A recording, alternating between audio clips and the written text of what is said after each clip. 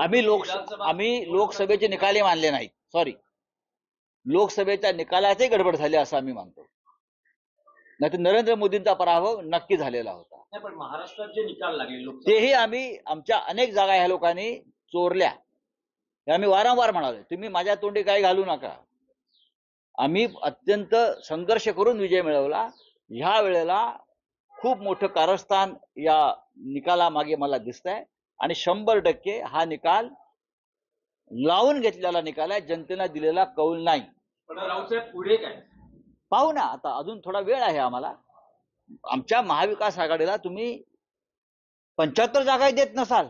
एवढा मोठा विरोध महाराष्ट्रात असताना हा एवढी मोठी बेमानी गद्दारी झाली असताना जर तुम्ही पंच्याहत्तर जागा शंभर जागा जर आम्हाला तुम्ही देत नसाल याचा अर्थ अमित शहा मोदी आणि अडाणी यांनी हा निकाल ठरवून लावलेला आहे. शंभर टक्के. आणि शेवटच्या तीन दिवसामध्ये मोदी आणि शहा या राज्यातून गायब झाले. गौतम अडाणी यांचा जो निकाल अमेरिकेत लागलेला आहे त्याच्यावरचं लक्ष सुद्धा यातून बदललं जावं महाराष्ट्रात आम्ही जिंकलो.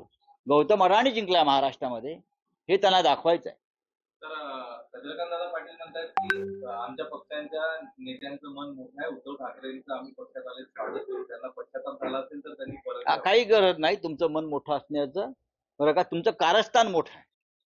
तुमचं मन हेच तुमचं कपट आहे. नाही पण राऊसाहेब हे जे निकाल आहेत असं दिसतं आहे की महाविकास आघाडीला किमान विरोधी पक्ष नेते पद तरी हे जसं काँग्रेसच्या बाबतीमध्ये लोकसभेत दोन वेळेला घडवलं ठरवून त्याच पद्धतीनं या महाराष्ट्राच्या विधानसभेमध्ये हा निकाल लावून घेतलेला आहे. महाराष्ट्रात महाराष्ट्र जो विकायला काढलेला आहे त्याला आम्ही विरोध करत होतो.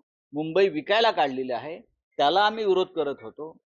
आणि हा विरोध आमचा मोडून काढण्यासाठी या पद्धतीनं निकाल लावून घेतले. न पेक्षा असे निकाल या महाराष्ट्रात कधीच लागणं शक्य नाही. लागूच शकत नाही